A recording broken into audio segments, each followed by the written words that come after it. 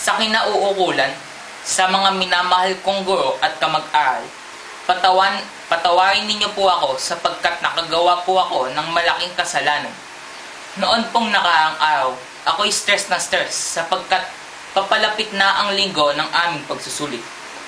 Ako'y nakagawa ng paan, ngunit hindi ko ito masyadong pinag-isipan. Lingid sa kaalaman ng lahat, ay pumasok po ako sa faculty room.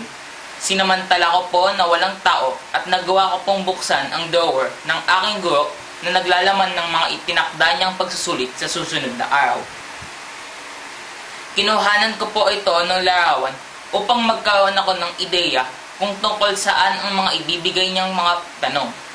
Nagawa ko po ito dahil gusto kong makakuha ng mataas na grades at nang sa ganun ay maging kabawasan ito sa aking mga pag-aaralan mapagtutuunan ng pansin ang ibang mga paksa sa araw ng aking pagsusulit. Hindi nga po ako man nagkamali. Mataas nga ang resulta ng aking pagsusulit, ngunit wala akong naramdamang kasiyahan sa aking puso.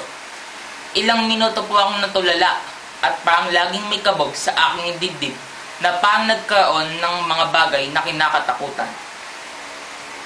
Dahil di naman po ako sanay na gumawa ng ganitong mga bagay, ay inuusig po ako ng aking konsensya.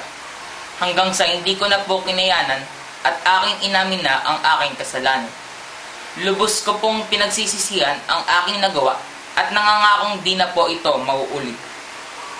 Pipilitin ko pong dagdagan ang oras ng aking pag-aaral at bawasan ng oras sa, so- sa social media at paglalaro sa phone upang sa ganon ay masigurado ko pong sapat ang aking kaalaman bago ang pagsusulit at makakuha ng gadong maipagmamalaki ko na bunga ng aking pagsusumikap. Sa lahat po sa inyo, humihingi po ako ng paumanhin sa nagawa kong kasalanan, lalong-lalo na sa aking mga guro.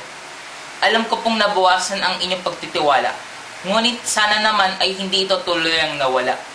Sisikapin ko pong maibalik ang tiwala ninyo sa akin at, maput- at mapatunayan na isa akong mabuti at responsableng mag-aaral. Lubos ko pong ginagalang at kinikilala ang dedikasyon ninyo sa pagtuturo upang kaming mga mag-aaral ay maging mas mabuting tao. Nais ko pong matuto at lumaki sa inyong patnubay. Ako po ay nakahanda na kung anuman parusa ang ipapataw ninyo sa akin. Sapagkat obligasyon ko po bilang estudyante na mag-aaral ng mabuti at unaawain ang tinuturo ninyo sa amin.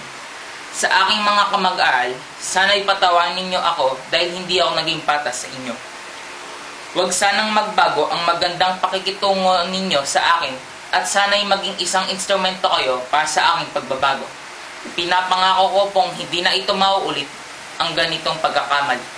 Ako po si Mon Andre D. Mendoza at ako po ay nagsisisi.